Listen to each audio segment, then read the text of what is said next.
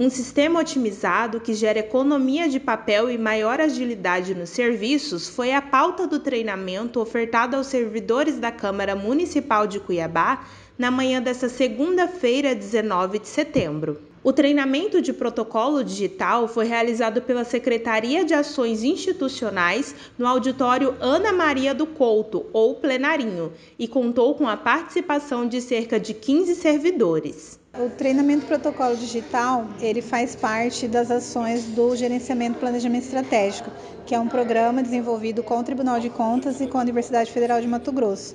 O nosso objetivo é que o protocolo ele seja atualizado diariamente, que os servidores criem o hábito de acessar, receber, tramitar e principalmente finalizar. Né? E você finalizando o protocolo digital, você não imprime, então você reduz impressão, papel e até tempo né? Você ganha tempo, torna o protocolo da casa mais ágil, mais eficiente.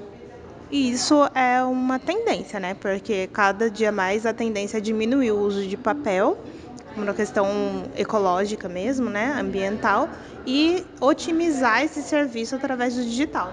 Sim, a Câmara Municipal, além do gerenciamento e planejamento estratégico, ela tem o programa da Câmara Sustentável, que é a redução do consumo de papel, água e energia elétrica. Então, nós queremos associar as ações, né, é, unir esforços para que o protocolo caminhe como, corretamente e também haja a redução do consumo do papel. Hoje o nosso objetivo aqui, a abordagem foi exatamente isso, fazer com que as pessoas tenham consciência né, do protocolo.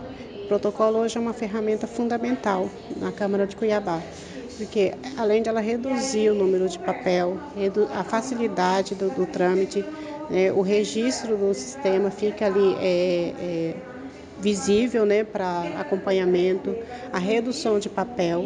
Então, tudo isso é a conscientização.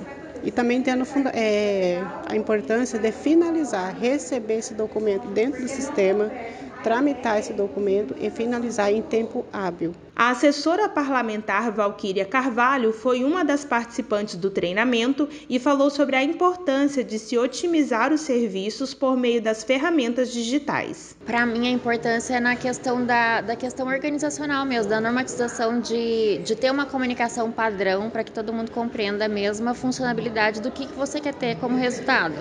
Então, acho que é necessário, sim, essa implementação, essa transformação, porque agrega no dia a dia de todo mundo. Então, para mim, é, eu vejo como, como aprendizado e como melhoria no trabalho interno da instituição.